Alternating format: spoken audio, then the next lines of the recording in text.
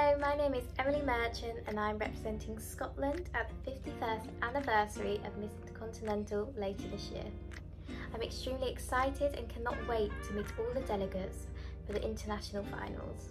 A huge shout out and thank you to Sunrise Resorts who is sponsoring the pageant where we'll be staying in the Remal Resort in Sharm el Sheikh later this year.